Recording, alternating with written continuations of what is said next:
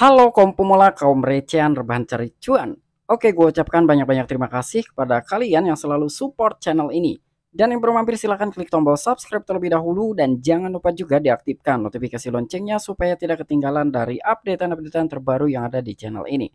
Oke, pada kesempatan sore kali ini gue bakal membahas market cryptocurrency di mana sekarang ini ada sebuah informasi yang sangat mengejutkan sekali ya. Tetapi sebelum lanjut ke pembahasan, seperti biasa gue ingatkan kembali pada kalian tetap Dior, do your own research. Di sini gue tidak ada unsur ajakan kepada kalian untuk membeli ataupun menjual koin-koin dan juga token-token yang gue bahas. So, apa pun resikonya gue tidak ikut bertanggung jawab. Oke, jadi langsung saja kita cek-cek market terlebih dahulu. Nah, di mana sekarang ini gue buka di exchange Binance dan ternyata untuk kondisi market sudah mulai hijau ya. Di sini Bitcoin mengalami kenaikan 1,25%, ada Ethereum, BNB, XRP, Dogecoin, Chilis, token Trust Wallet dan juga Polygon Matic, bahkan beberapa altcoin pun sama ya. Ini terseret oleh arus Bitcoin. Oke, jadi kira-kira sekarang ini ada sebuah informasi apa sih gitu ya mengenai market cryptocurrency. Nah, jadi di sini yang bakalan gua bahas uh, sekarang ini mengenai Bitcoin terlebih dahulu ya. Jadi sekarang kita bahasnya Bitcoin nih. Oke, kita cek dulu dalam sebuah chart dari Bitcoin. Nah untuk chart dari Bitcoin ini di mana beberapa hari yang lalu ya ini uh, ada sebuah bantingan lah gitu. Karena adanya sebuah isu-isu negatif dan sekarang juga pastinya ini ada warning juga buat kita semua ya. Ini mungkin bisa gua katakan sebagai ya minggu yang bergejolak gitu karena di sini ada sebuah informasi yang gue temukan bahwasanya ada uh, beberapa uh, Bitcoin gitu yang telah dikirim ke Binance yang kemungkinan itu bakalan dijual. Nah, jadi sekarang ini ada sebuah isu seperti itu. Dan kira-kira top holders dari Bitcoin ini siapa sih? Yang mungkin uh, secara umum kita mengetahui adalah MicroStrategy gitu ya, yang memang memiliki uh, jumlah Bitcoin yang begitu banyak. Tetapi ternyata bukan MicroStrategy yang memiliki jumlah Bitcoin paling banyak. Ya walaupun memang dari MicroStrategy tersebut memiliki sekitar 130 ribu keping Bitcoin, tetapi ternyata di atasnya masih ada lagi yang memegang Bitcoin dengan jumlah yang lebih banyak dan itu lebih besar. Bahkan potensinya itu bakalan dijual kapan saja. Nah, ini kan ngeri banget gitu buat kita semua ya. Ditambah lagi dengan adanya isu yang sedang sekarang ini bergelintiran gitu ya di lingkungannya cryptocurrency. Di mana ada Genesis gitu ya yang mengalami ya sedikit agak goyang juga perusahaannya. Salah satu bank cryptocurrency, ada juga exchange FTX yang belum memudar dalam sebuah isu collapse-nya dan beberapa perusahaan-perusahaan perusahaan yang lainnya. Oke, jadi nggak perlu banyak basa-basi, kita langsung saja masuk ke sumber informasinya. Oke, diangkat oleh cryptobriefing.com Nah, jadi di sini memang ada sebuah artikel, namun artikel tersebut ini diangkat per tanggal 7 November. Berhubung gue baru menemukan artikel ini ya, sebenarnya gue nyari itu dari kemarin-kemarin, ternyata baru ketemunya sekarang.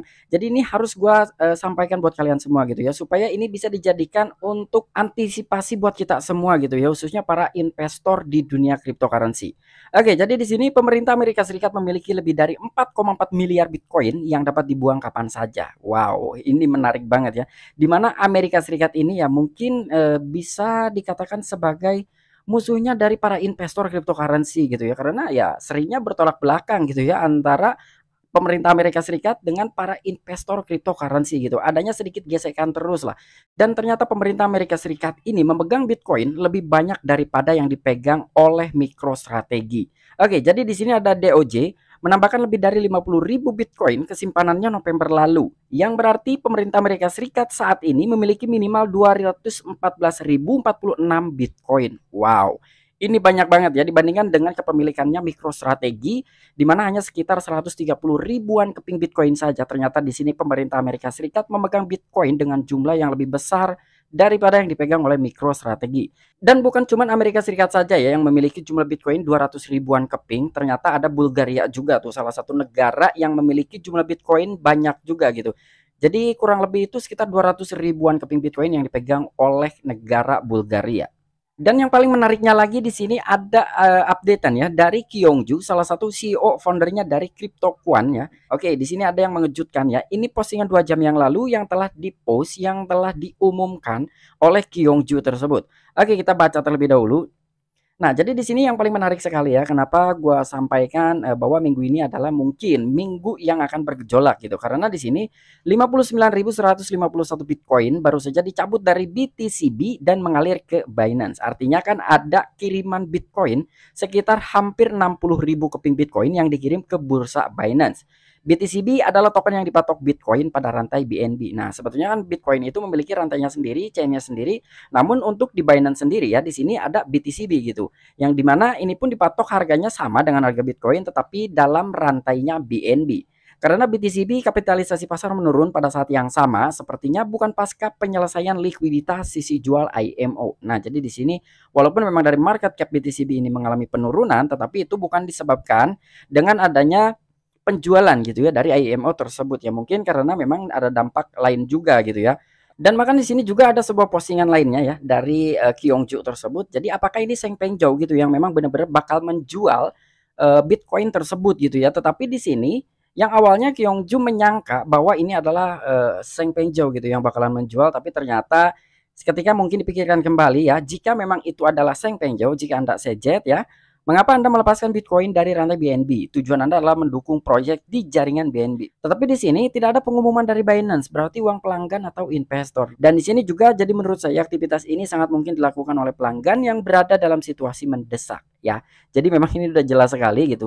Yang disampaikan oleh Kyongju tersebut ini yang pertama bukan Seng Penjau gitu ya. Kemungkinan besarnya ini memang benar-benar bukan Seng Penjau. Di mana Seng Penjau sendiri tujuannya untuk mendukung proyek yang berada di jaringannya BNB ya ketika memang Seng Penjo ini berniat untuk mendukung, ngapain dia harus menjualnya ya? Kira-kira seperti itu.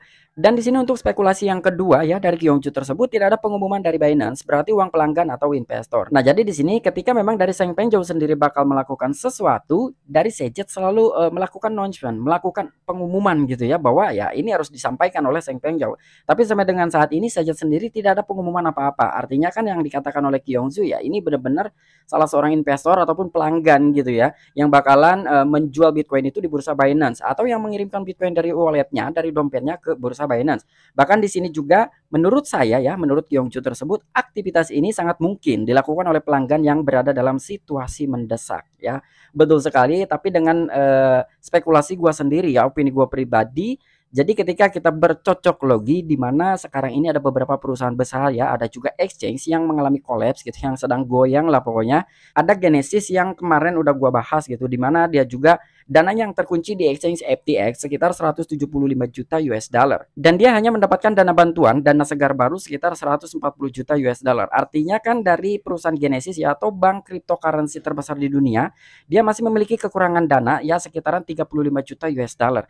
Jadi ya mungkin ini ada kaitannya juga gitu dengan perusahaan Genesis ya. Tapi ya kita juga nggak bisa memastikan bahwa di sini juga tidak ada kepastiannya gitu. Kira-kira ini siapa sih yang mengirimkan Bitcoin dari walletnya ke bursa Binance. Dan ini tentunya ya gua rasa ini bakalan dijual gitu, dijualnya ya di bursa Binance seperti itu. Nah, kira-kira menurut kalian bagaimana?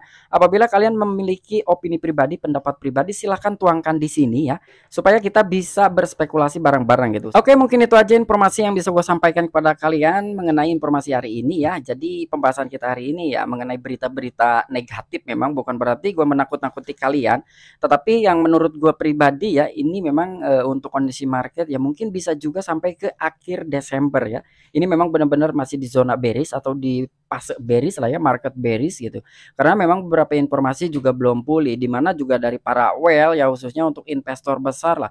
Ketika mereka akan melakukan sebuah pembelian, dia juga bakal melihat dulu isunya bagus atau enggak nih kira-kira ya. Ketika memang isu itu ternyata masih negatif gitu ya dari beberapa sumber, dari beberapa media ya kemungkinan dari para investor besar juga belum berani untuk uh, membeli beberapa altcoin ya khususnya untuk Bitcoin ini.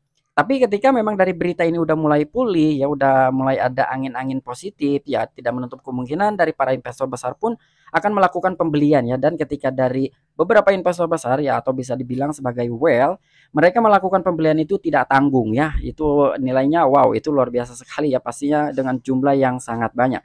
Dan di sini sekali lagi buat teman-teman semua ya, gue ingatkan tetap Dior, do you own research kalau bisa ya kalian siapkan dana ya untuk ya ketika memang market ini terjadi crash yang berkelanjutan ya di situ kita bisa memanfaatkan momentum membeli beberapa altcoin favorit kita di harga yang super murah sekali. Oke mungkin itu aja informasi yang bisa gue sampaikan kepada kalian kurang dan lebihnya mohon maaf. Sampai jumpa saksikan di the next video-video gue selanjutnya. Salam cuan, salam profit. Bye bye.